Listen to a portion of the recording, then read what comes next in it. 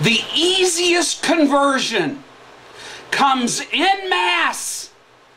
And this administration is at its best infiltrating schools, media, politics. An entire culture is made into a dependent class to godless tyranny and more.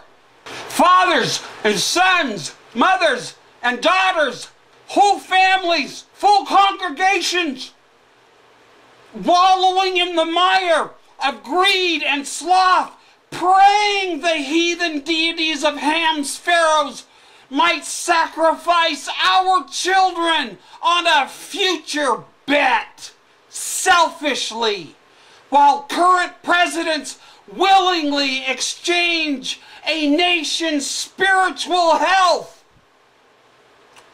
forsaking Christ at an easy to pay price today only.